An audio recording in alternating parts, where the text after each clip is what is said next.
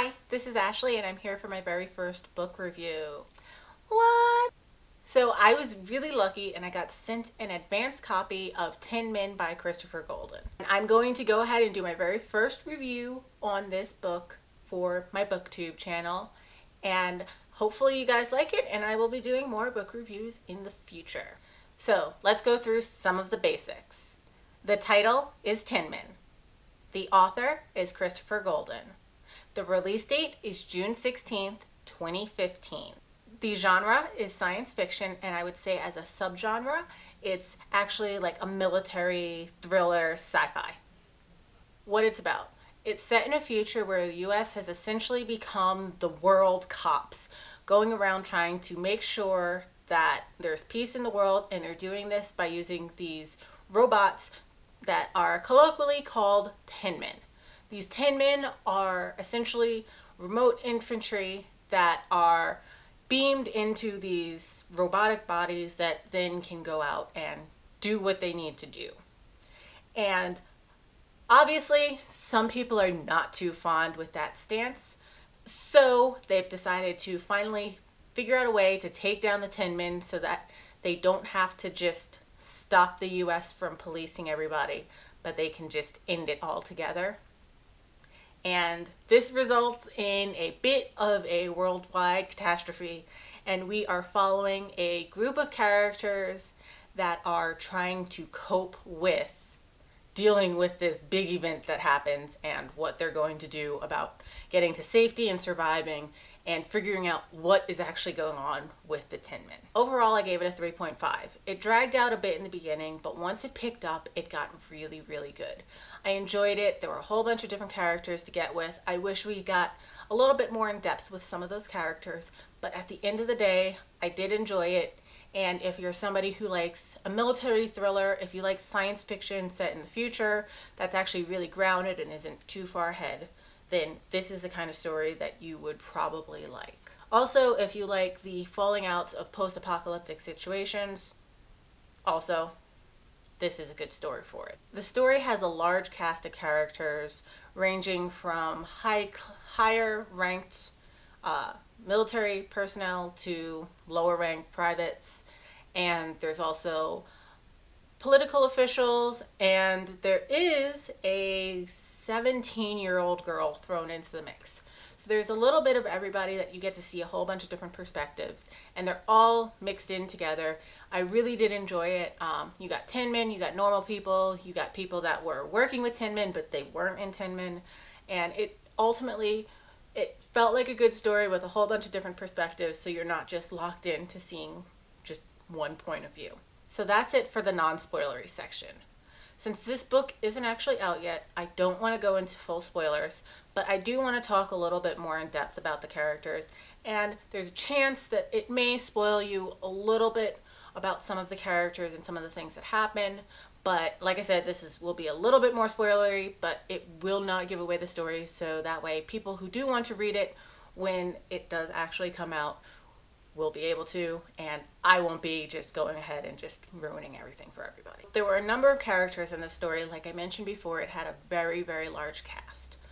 One of the characters was named Felix. He is actually the father of one of the Tin Men that we were following rather closely. Felix was a fantastic character. He was the insight to a lot of the political side of the everything, even though he wasn't actually a politician himself, I believe. But you got to see everything regarding those political officials through Felix's eyes and as he's trying to move forward and push forward and actually get to his daughter because he knows that something's going on. And I Felix was just a nice character. You really felt for him almost right away. I wish there was a little bit more, but they did build him up very well. On the opposite side of that, there's a character named Alexa. She is actually the 17 year old that I mentioned earlier. Um, I wish she was a little bit more fleshed out. She reminded me a little bit of Nick from Great Gatsby, where she was really observing the story. She fell into the background a lot. I will say that she did step up and do some other things and be an advocate every so often, but I wish that she was a little bit stronger. Ultimately she just felt like she was constantly fading into the background and i wanted to get more out of her and see what she thought about the things going around her. It felt that unless it was touching one of two topics that she didn't really have much thoughts at all and i would sometimes forget that we were in her perspective when we were actually with alexa specifically. Then there's kate. Kate is a total bad ass I absolutely loved her. The fact that she was also a black female protagonist was another plus for me. I just really enjoyed the way that she was built up. You got to learn a lot about her over the course of the book because she was one of the main characters.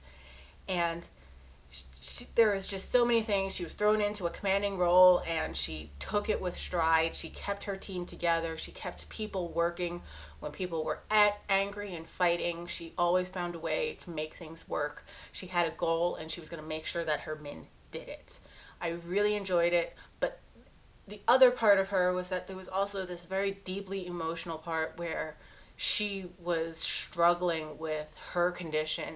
She was struggling with the relationships that she was having with some of the other people. And she was struggling with whether she actually wanted to be a Tin Man or not. And it was just really interesting to watch her go through the, that journey. And I felt that she was probably the most fleshed out character in the entire book. There was also another character, Amy Bell, who was one of the soldiers, but she did not work in a Tin Man like many of the characters that we saw. And Amy was a nice change of pace because she showed a military side, but she was also really a techie. She was trying to figure things out. Really, with her perspective, you started to see things unravel and you learned a whole lot about what was going on. And it was just really interesting to see her perspective. Um, like I said, she was just a really great change of pace in the story. And the perspective that we spent a large amount of time with was actually Danny. Danny's the first character that we meet, and I wish that he had more pers- personal growth, but he did move from one state to another state. So I will say that he did evolve some. Um, he was really fun. Um, if there was any character in this entire book, Danny was the fun one. Danny's the one that you'd want to hang out with even if he's a bit cynical and he has some problems, but he's the kind of guy that you would want around, that you want to have your back because he's a good guy. Like I said, I'm not going to get into any more spoiler spoiler stuff like that. I hope I didn't spoil anything. I was really trying not to, but I hope you enjoy Tin Man if you do go out and decide to read it. I enjoyed it, and uh, based off of the ending, I'm hoping that there will be more because I'd be interested to see where the story progresses from here. Because while this definitely closed everything up, it definitely opened things up enough that I could see a future novel coming from this. And one final note, I kind of touched on this briefly, but this is an apocalyptic story that's not really hiding anything. They mention that in the Goodreads. Something happens and the world goes to shit and people have to deal with it. That's just how it is but I just really enjoyed watching the journey. Um, I wish that we've had more of the latter half of the story that was a bit more action paced and moving and seeing the characters grow and go through different things than we did with the earlier stuff because it was a lot more dragging, a lot more bureaucracy, and it just wasn't as interesting. I found myself putting the book down a lot more in the beginning, but then once I hit midway, I didn't want to stop. I was reading in massive chunks and only stopping because I had to go do something.